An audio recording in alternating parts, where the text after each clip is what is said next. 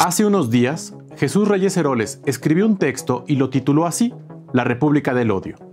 Sin duda que no hay nada más adecuado para representar lo que hoy por hoy significa una parte de Morena, muchos de sus seguidores y el candidato Andrés Manuel. A pesar de los esfuerzos por intentar situarse en el amor y la tolerancia, cada vez más vemos muestras de la agresión que buena parte de los amlovers comparten todos los días en redes sociales. Estos mismos seguidores, que supuestamente están instalados en la República Amorosa de Andrés, son la mayor parte del tiempo agresivos, e intolerantes. Ejemplos tenemos varios. Hace unos días, Eugenio Derbez comentó en una entrevista que no consideraba que AMLO fuera la mejor opción. El actor tiene todo el derecho de decir lo que le plazca, idea que además comparten millones de mexicanos. La respuesta en redes fue la de llamar al boicot de su película, esa idea que profesan algunos fanáticos de Morena, en la que quien no piensa como yo está en mi contra. Cada vez más hace daño a la sociedad en un país sumido en la polarización. Por cierto, el boicot no funcionó, su película se sitúa en un una de las más taquilleras del año. El escritor peruano Mario Vargas Llosa hace unas semanas comentó que votar por López Obrador sería un error muy grave. La respuesta de uno de los voceros de Morena, Gerardo Fernández Noroña, fue pedir que le quitaran